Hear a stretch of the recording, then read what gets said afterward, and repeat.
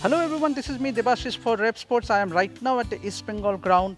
As we all know, uh, yesterday AIFF Players Decision Committee's verdict on Anwar Ali made the headlines in Indian football. Well, Anwar Ali, along with the other Indian players in East Bengal, has turned up for the practice session today. Uh, yeah, and it was good to see Anwar back, back in training. Obviously, it will be a huge challenge for Anwar how he copes up how he mentally copes up with this uh, situation around now that he won't be allowed to play for the next four months in the ISL. Obviously, we all know that East Bengal will begin their campaign against Bengaluru FC on 14th.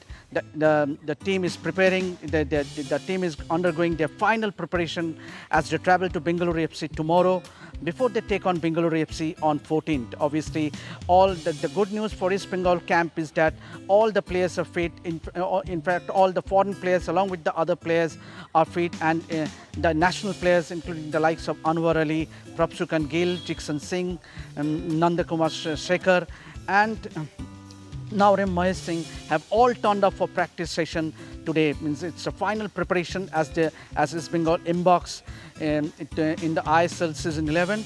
Obviously, it will be a huge challenge for coach Carlos Cuadrat as it takes on Bengaluru FC, but uh, it will be a huge setback as well because Anwar Ali will be missed. As we all know, mm, the, a lot of planning went in uh, keeping Anwar Ali in mind, but now that he has been suspended for four months, it will be a challenge for the coach, East Bengal coach, to uh, uh, try out a few options. Obviously, there are a few options in the East Bengal backline, the likes of Hector Yuste uh, uh, and Hijazi Maher, alongside Lalchungnunga and, and also uh, uh, Singh, Muhammad Rakip is also getting fit. So, and there is also Mark Zothanpuia. So there are a few options, but then obviously um, uh, it will be a setback, no doubt, that Anwar Ali will be missing. But for Anwar personally, it will be a huge challenge uh, uh how he copes up with this mental uh, mental conditions. Obviously, a player we all know would love to show his uh, Uh, uh, potential on the field.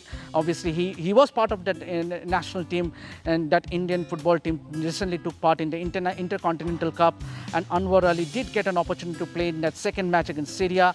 Uh, but then obviously this next four months will be a huge challenge for Anwar personally, mentally as well.